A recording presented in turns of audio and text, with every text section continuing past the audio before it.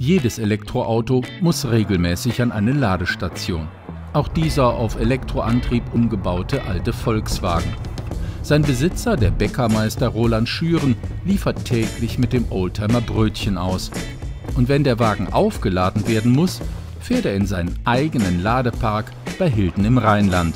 Es ist der zweitgrößte Ladepark in Deutschland mit bald 120 Ladesäulen.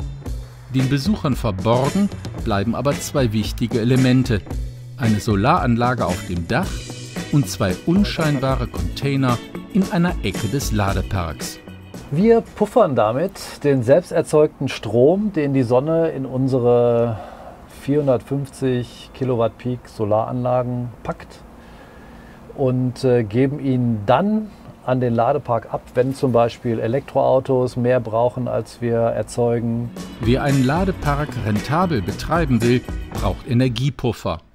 Solche Batteriespeicher sind deshalb eine Schlüsseltechnologie für die Verkehrs- und Energiewende. Anbieter gibt es vor allem in Asien und den USA. Bekannt ist vor allem Tesla. Doch Marktführer in Deutschland ist ein Unternehmen aus Wittenberg in Sachsen-Anhalt, Tesvolt. Die beiden Gründer sind alte Schulfreunde. Als wir Tesvolt gegründet hatten, hatten wir tatsächlich nur ein leeres Blatt Papier, ein Kuli und viel Mut und Kreativität.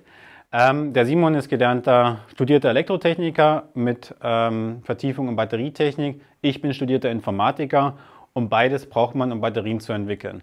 Aber als wir Tesvolt gegründet hatten, hatten wir noch nie vorher eine Batterie entwickelt. Aus dieser Idee ist nach wenigen Jahren ein Unternehmen mit 120 Mitarbeitern geworden. Im Werk in Wittenberg werden täglich Batteriezellen gebündelt montiert und zu kompletten Speichersystemen entwickelt. Hunderte von solchen Batteriezellen stecken in so einem Schrank.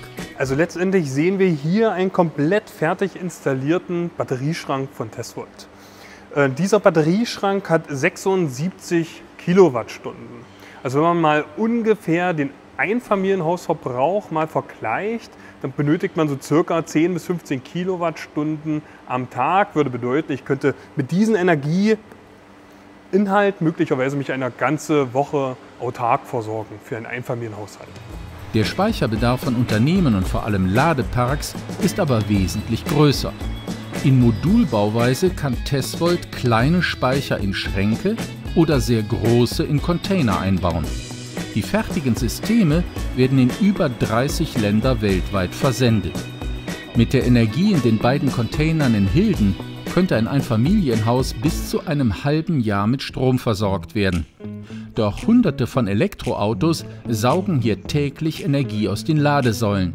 Eine Belastung auch für das Stromnetz. Die Batteriespeicher sind ein Puffer. Also ich schätze mal, hier laden jetzt gerade 15 Elektrofahrzeuge zu dem Zeitpunkt, wo wir hier stehen. Und die Sonne ist schwach und sie geht langsam unter. Das heißt, eben als weniger da waren und mehr Sonne geschienen hat, da hatten wir mehr über, haben das in die Speicher gebracht. Und jetzt, wo wir es nicht brauchen, fügen wir es wieder hinzu, sodass wir trotzdem zum Beispiel nicht mehr als ein MW aus dem Netz ziehen müssten, obwohl wir vielleicht sogar zwei bräuchten. Und das ist die Funktion der Speicher. Für die Fahrer der Elektroautos zahlt sich diese Technik aus. Denn neben teuren Schnellladesäulen kann an langsameren Ladesäulen zu sehr günstigen Preisen Energie gezogen werden.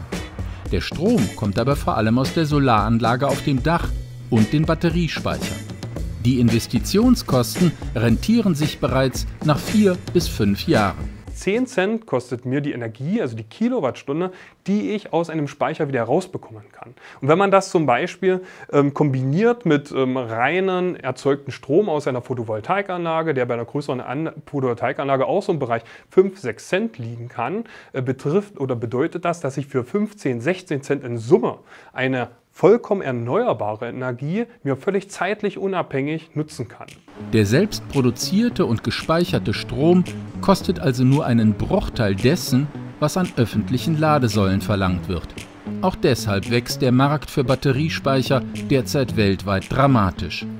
Die Anbieter konkurrieren weniger um Aufträge als um qualifizierte Mitarbeiter.